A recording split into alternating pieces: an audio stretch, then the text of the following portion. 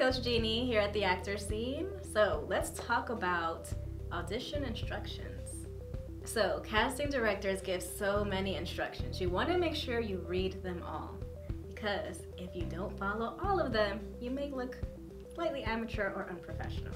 All right, so first things first, read all the instructions before you begin. Literal instructions that you definitely want to follow are do you want the clips on separate files or all together? Labeling instructions, right? If they definitely ask for two takes, send the two, but it's not necessary unless you can definitely make two different performances. Most auditions require a slate. Make sure you're only saying what they ask for. A lot of times actors end up adding all this extra stuff that they're used to saying in other auditions. But if this casting director is not asking for that information, simply don't say it. Sometimes they may ask for submission notes. So normally this is something you might find on Actors Access. There's a little text box where you can add things like your height, location, do you have any conflicts, etc. Only certain casting directors ask for this, but if they don't ask for any, you don't need to add any. so now you have your script and you're noticing there are some actions that your character has to perform. Whether that is passing something to someone, looking at someone who just walked in a room, fighting, kissing, maybe they fell down, okay? You still want to try your best to perform these actions for your frame, okay? Now, if you see something that says she passes this to someone, definitely do the motion. It takes some practice to figure out where your eyes should be exactly, but you never want to truly look down. Down for a taped audition is about chest level far away from you okay? So if you're passing something to someone or if someone is passing it to you, you can't look at that chest level and receive it or pass it. It is not necessary to truly use a prop here unless it just makes you act a little bit more naturally having something in your hand because we won't actually see it since your frame cuts off about here, okay? But definitely do those motions. If it says that someone was beat up and fell, we can't truly lose you off of the frame. But what you can do is do a big stumble. Sometimes I've even seen people end up stumbling to the wall behind them. If your lighting is fine, you can do that. but you do want to make sure that you have the actions that are listed there. Now, there are some things that you don't have to take too literally. So, for example, if it says crying on cue, okay, or they start crying on this line, you don't have to force a cry because I'm telling you, it will be obvious you're forcing a cry. 100% they will know you are forcing a cry. so what you want to do instead is just make sure that you are connecting to what that character would be feeling at that line.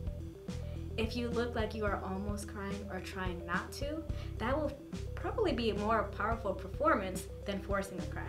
Because in reality, we don't want to show off our tears. In reality, we don't want to be vulnerable we actually want to hide that we're crying, right? So your performance will be a lot more powerful. Think about that. Now, let's say something like kissing in a scene or fighting in a scene. You don't have to bring a person into your audition. I promise you, you do not. but please don't. please don't. so, what you're going to do is really mimic the feeling behind it and try the best for your physicality as well. So, for example, if you are hitting someone or something, you want to imagine as if they are right here in front of you while still maintaining your eye line. Okay? If you are hitting someone, truly do the force of the hits instead of something really light. It's not gonna look natural. If you are kissing someone, you don't have to bring someone in here, but still imagine them right in front of you give that feeling in your face of how it feels right when it's about to happen, okay? You can slightly lean in and have a lean back and have that feeling of what it's like after it actually happened. Think about how this character feels about the person they're about to kiss. Do they like them? Is it something they've been waiting for for a long time? Let's see that in your expression. Just to clarify, don't actually kiss the air casting directors don't want to see what that looks like when you're just kissing the air, making kissing, you know, mouth and noises and all that good stuff. It's how are you approaching it and how are you receiving it once it's done. I personally think that it's important that we don't lose you in frame at any point during your audition. So, if your character has to walk in and out, it's listed on there for a reason. They want to see how your environment, your situation, your communication affected you.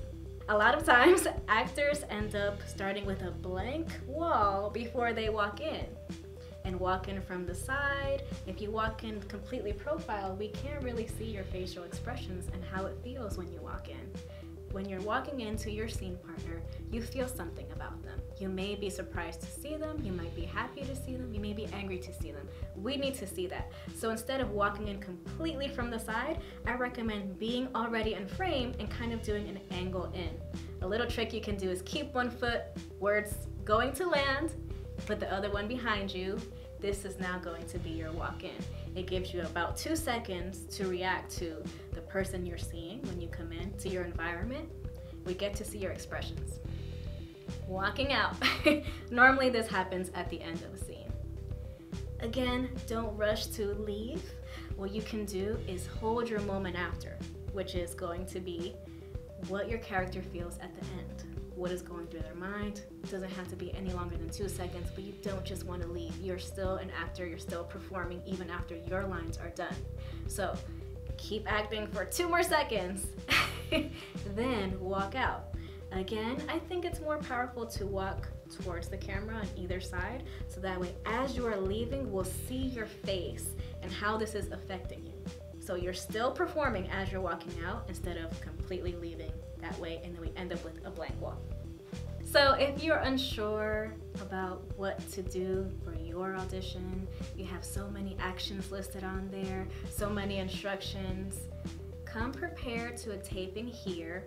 We'll guide you through it step by step and we'll make sure you're turning in exactly what they're asking.